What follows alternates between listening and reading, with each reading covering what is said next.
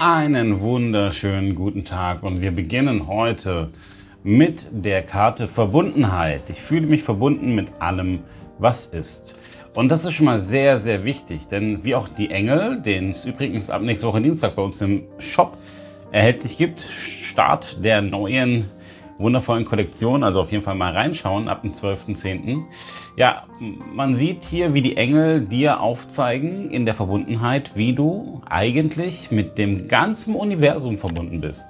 Wir haben hier die Thematik deines inneren Kindes, das derzeit ähm, sehr aktiv ist. Dieses, dieser Drang nach gesehen werden, dieser Drang nach, ähm, dass du keinen Ausweg mehr siehst und das alles was mit deinem Herzen zu tun hat, Liebe, Freundschaft, Familie, immer sehr im Zweifel geht, in den Zweifel geht und du daher nicht die Verbundenheit gespürt hast in letzter Zeit, ja, sondern du hast dich eher wie so, wie so ein Fußabtreter gefühlt.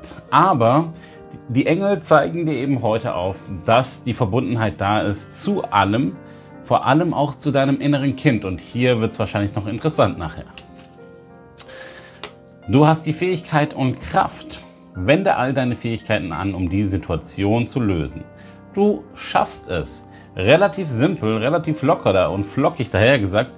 Ähm, es ist schon so, dass du in der Tat für dich einstehen musst. Es ist jetzt nichts, was du in letzter Zeit nicht getan hast, aber was die Liebe betrifft, hm, hast du dich gerne mal hinten angestellt und die Stärke ein bisschen walten lassen, weil du Angst vor Entscheidungen hattest vom Gegenüber.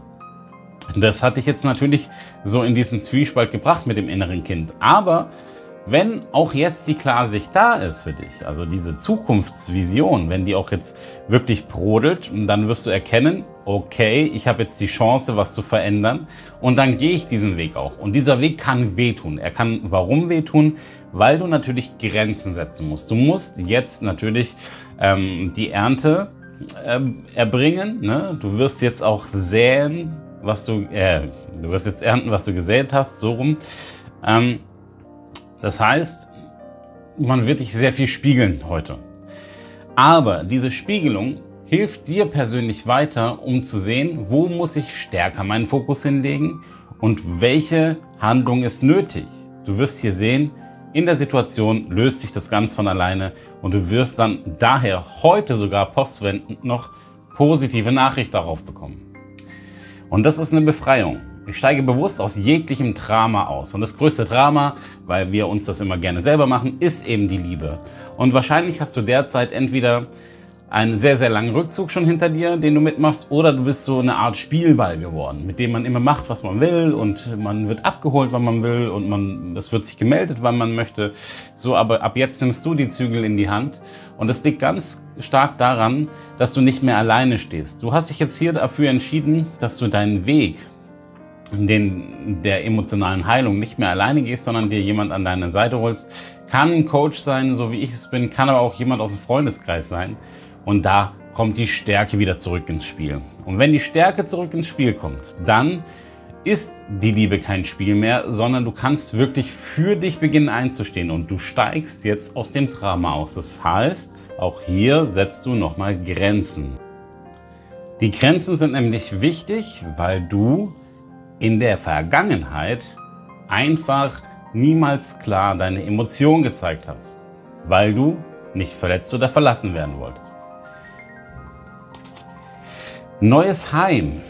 Umzug ist ein Schritt in die richtige Richtung für dich. Und das muss gar nicht du sein, sondern diese Situation zeigt dir, entweder wechselt der Arbeitgeber oder der Partner wechselt derzeit sein Quartier oder die Arbeit. Es hat auf jeden Fall etwas mit Umzug zu tun und das durchfließt dein ganzes Energiefeld heute. Es durchfließt deine Zukunftsvision, deine Tatkraft, deine Stärke, dein inneres Kind hat auch sehr viel mit Umzug zu tun, weil entweder wurde viel umgezogen oder es war keine Beständigkeit in der Kindheit da.